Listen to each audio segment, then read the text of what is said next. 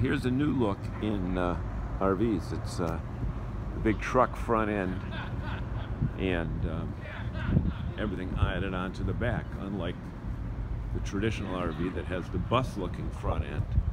So it's the Renegade XL. It's 43 feet long, and uh, let's go inside. Here we are. Here we are. Pretty cool. Giant residential fridge, tons of space. And here's your bedroom, your full bath,